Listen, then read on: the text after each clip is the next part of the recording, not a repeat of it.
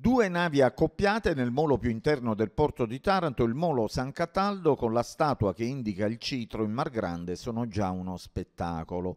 Oggi la Main Schiff e la costa fascinosa che hanno riempito di turisti il centro storico e non soltanto. Turisti che hanno poi a piedi raggiunto il castello aragonese incrociando anche ciclisti in gita. L'antico maniero della Marina Militare è sicuramente attrattivo per tutta una serie di motivazioni che abbiamo spesso raccontato, ma anche per i non appassionati di storia dell'arte, ricco di fascino, in quanto forse ancora uno dei pochi castelli a guardia di un importante canale marittimo in funzione come presidio militare, che ha saputo abbinare la sua valenza storica alla necessità di dotare la città bimare di un luogo dove organizzare eventi di ogni tipo in un contesto assolutamente unico.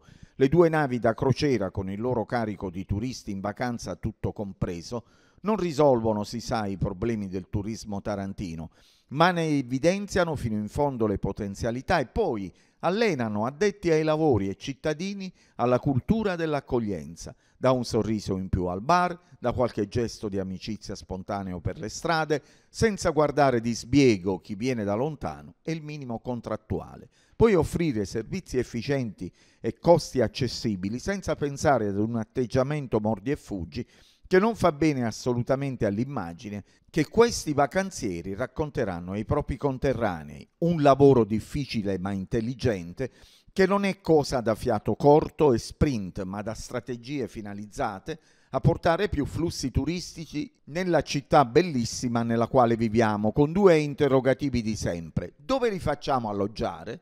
E soprattutto facilitare l'arrivo in città, che oggi come minimo è complesso Trenitalia annuncia che il Frecciarossa Taranto-Roma riprende e ci mancherebbe, ma non basta. Ecco la grande sfida alla quale pensare subito. Nel 2025 Taranto, città europea dello sport e soprattutto Giochi del Mediterraneo 2026 sono dietro la porta.